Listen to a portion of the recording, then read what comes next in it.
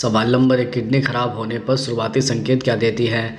जैसे नंबर एक, यदि आप अचानक से चलते चलते या सीढ़ी चढ़ने के दौरान थकने लगे तो समझ जाइए कि आपकी किडनी ठीक तरीके से काम नहीं कर रही है, जो हमारी किडनी में विषाक्त पदार्थों के जमावट का कारण हो सकता है। किडनी की बीमारी में एनीमिया की कमी के कारण भी हमारे शरीर में थकान और कमज़ोरी का कारण बनता है। नंबर दो, यदि आपको बार बार पेशाब आता है तो यह किडनी की बीमारी के संकेत हैं। क्योंकि इस तरह की बीमारी में किडनी के फ़िल्टर क्षतिग्रस्त हो जाते हैं, जिसके कारण पेशाब करने की इच्छा बार बार होती है। कई बार पुरुषों में यूरिनरी इन्फेक्शन या बढ़े हुए प्रोस्टेट भी इसका संकेत हो सकता है। नंबर तीन, यदि आपके पेशाब में खून आता है तो इसका मतलब है कि हमारे किडनी के फ़िल्टर फट गए हैं और रक्त कोशिकाएँ मूत्र में रिसाव के माध्यम से आ रही हैं, जो किडनी संबंधी बीमारी का संकेत है। नंबर चार, यदि आपको भूख नहीं लग रही है तो यह भी किडनी संबंधी बीमारी का शुरुआती कारण हो सकता है, क्योंकि किडनी यदि ठीक से काम नहीं कर रही है तो आपके शरीर में विषाक्त तत्व जमा होने लगते हैं।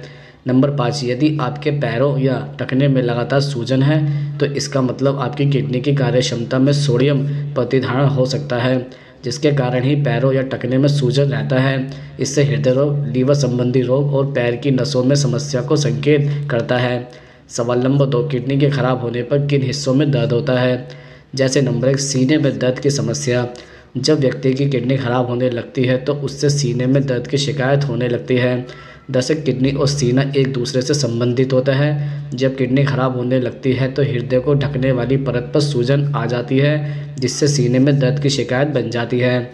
नंबर दो, पीठ में दर्द की समस्या। किडनी खराब होने पर पीठ में दर्द की शिकायत भी हो जाती है। दरअसल जब किडनी शरीर के अवशिष्ट पदार्थों को बाहर निकालने में असमर्थ रहती है तो इससे पीठ में दर्द की समस्या हो जाती है।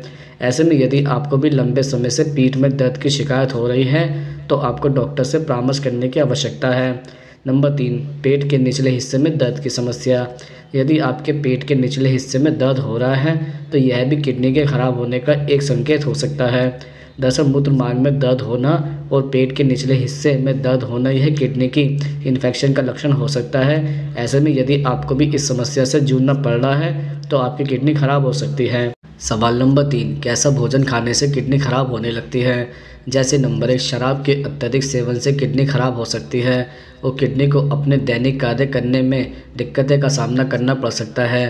किडनी के ठीक तरीके से काम न करने पर शरीर में विषाद पदार्थ जमा होने लगता है, जिससे आपके शरीर के अंगों की कार्यप्रणाली पर भी असर पड़ता है। नंबर दो, कुछ लोगों को ज़्यादा नमक खाने की आदत होती है, और यही आदत उनकी किडनी के लिए नुकसानदायक साबित होती है।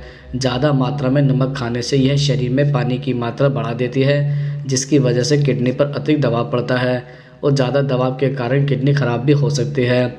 इसके अलावा अधिक नमक के सेवन से हाई ब्लड प्रेशर की समस्या भी हो सकती है। नंबर तीन, डेयरी उत्पादों की ही तरह रेड मीट में भी प्रोटीन प्रचुर मात्रा में होता है। प्रोटीन के साथ ही आपको यह समझने की आवश्यकता है कि हमारे शरीर को मांस को पचाने में बहुत मेहनत करनी पड़ती है। इस मेहनत का सीधा असर हमारी किडनी पर पड़ता है।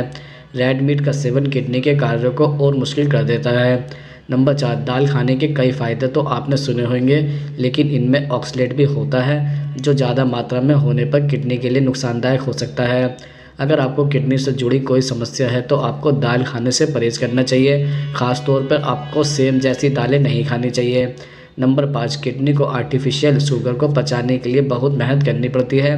अगर आप डायबिटीज़ के मरीज़ हैं तो आपको शुगर के सेवन से बचना चाहिए, क्योंकि आपको किडनी से जुड़ी बीमारियों का ख़तरा ज़्यादा है। सवाल नंबर चार, किडनी को साफ़ करने के लिए क्या पीना चाहिए? जैसे क्या आप जानते हैं कि हर अंग को सही तरीके से अपना कार्य करने के लिए पानी की ज़रूरत होती है? ठीक उसी तरह से किडनी को भी लिक्विड पदार्थ की ज़रूरत होती है। क्योंकि इसका मुख्य काम होता है फ़िल्टर करना। किडनी को यूरिन बनाने के लिए पानी की ज़रूरत होती है, जो शरीर से विषाद पदार्थों और अपशिष्टों को बाहर निकालता है। मूत्र की कम मात्रा किडनी डिस्फंक्शन गुर्दे में पथरी बनने से संबंधित है। ऐसे में प्रतिदिन तीन लीटर पानी ज़रूर पीना चाहिए।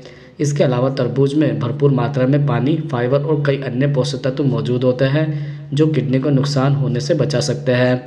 तरबूज में यौगिक लाइकोपिन होता है, जो किडनी डैमेज होने पर इन्फ्लेमेशन होने से बचाता है।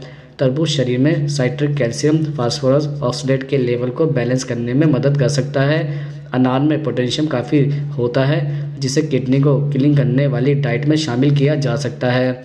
सवाल नंबर पाँच, किडनी में इन्फेक्शन होने का प्रमुख कारण क्या होता है? जैसे किडनी से जुड़ी एक गंभीर समस्या है, किडनी में इन्फेक्शन होना।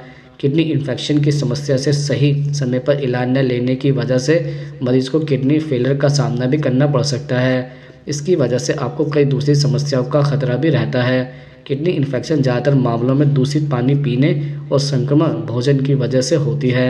इसके अलावा किडनी में इन्फेक्शन होने के कुछ प्रमुख कारण हो सकते हैं, जैसे दूषित भोजन और संक्रमण पानी के सेवन से किडनी इन्फेक्शन का खतरा, यूरिनरी ट्रांस इन्फेक्शन के कारण किडनी में इन्फेक्शन टॉयलेट में मौजूद बैक्टीरिया के संक्रमण के कारण यूनरी के थिएटर में संक्रमण की वजह से किडनी इन्फेक्शन का खतरा, इम्यून सिस्टम के कमज़ोर होने की वजह से यूरिन इन्फेक्शन का खतरा, प्रोस्टेन का साइज़ का सामान्य से ज़्यादा होना, शारीरिक संबंध बनाने की वजह से संक्रमण पर किडनी इन्फेक्शन का खतरा, पेशाब से जुड़ी बीमारियों की वजह से।